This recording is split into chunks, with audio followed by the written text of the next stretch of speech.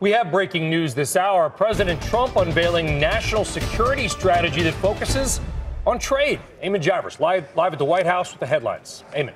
Yeah, Brian, that's right. Just within the past five minutes, the White House has posted the full new national security strategy document from uh, the Trump administration. This is the first crack that the Trump administration has had at crafting one of these. Remember, uh, presidents use these from time to time to sort of lay out their vision of the world and America's role in it.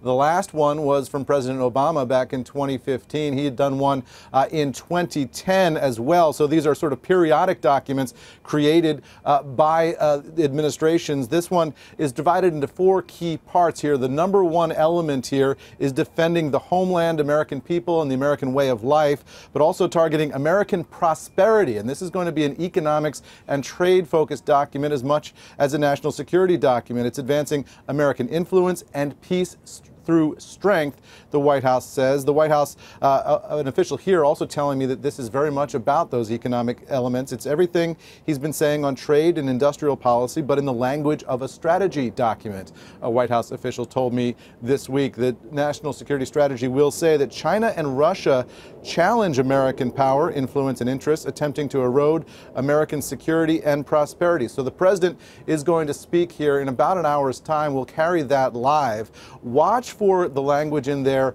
around Russia because over the weekend we saw some very cooperative language between the United States and Russia. Vladimir Putin actually issuing a statement praising the Central Intelligence Agency, which he doesn't often like to do for some cooperation on an anti-terrorism matter. The president has been very favorable, favorably disposed toward Vladimir Putin, but we expect that some of the language here will be critical of Russia. So watch for how the president balances those two competing imperatives, Brian.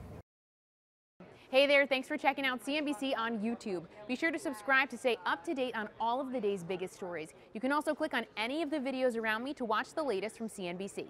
Thanks for watching.